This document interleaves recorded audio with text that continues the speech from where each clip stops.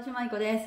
今日もですね、岐阜県多治見市にあります東海薬局さんの後藤薬剤師さんにスタミナ料理について教えていただきました。スタミナ料理といえば豚肉。豚肉プラス玉ねぎで定番の生姜焼きもいいけれど、豚肉にコチュジャン、味噌、甘酒、ニンニクを揉み込んで焼くとちょっと大人な腸活な、腸活ね、腸の活動ね、腸活おかずの出来上がりだそうです。でも確かにそうですね。うん。で、まあ焦げやすいので弱火でゆっくり焼くのがポイントですよって。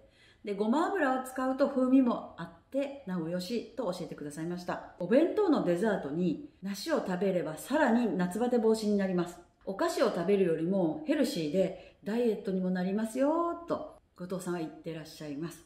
季節のものをその時に食べるっていうのは本当体にも美容にもいいなと私は思います。